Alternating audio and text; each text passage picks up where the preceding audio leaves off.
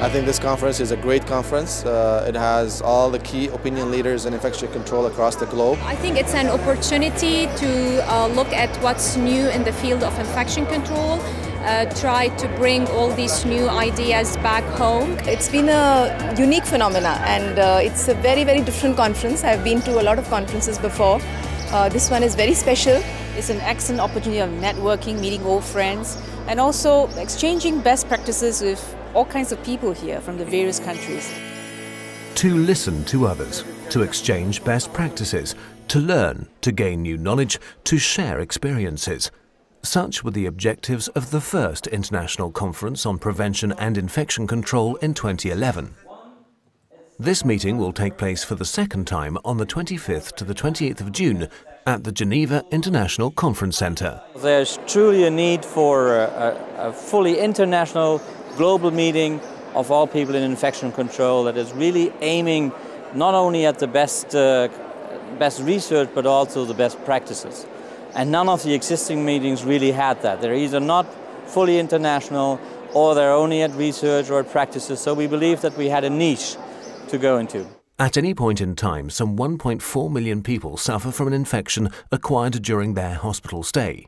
It's something that decision makers and the general public are not always aware of, but which is central to the testimony presented and to the discussions at this international conference.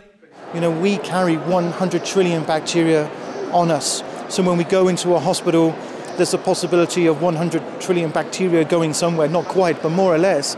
And so therefore, this link between the community, the environment, and, uh, and hospitals is actually very important and we shouldn't forget it. It is a neglected problem yet, and we need to establish the importance of this problem in order to raise awareness among um, administrators, politicians, and healthcare workers to motivate them to improve. Reducing healthcare associated infection is a major issue. All it takes to overcome the problem is a simple gesture, or actually five basic gestures to ensure safer and more reliable healthcare. During the first conference in 2011, more than 1,200 experts from 86 countries offered their full support to the campaign led by the World Health Organization. Today, over 15,000 hospitals and health institutions in 169 countries around the world have registered for this program to promote hand hygiene. Among them is the University of Geneva Hospitals, a global leader in hand hygiene. This medical center works closely with the World Health Organization and also organizes the second international conference on prevention and infection control. I think that this mission is to meet, is to share, is to compare, to innovate, to exchange each other, and also to embark each other in some sort of solidarity, a movement of solidarity that put everybody together so that we share our experience, we share our vision, we share our perspective, and we also share our resources.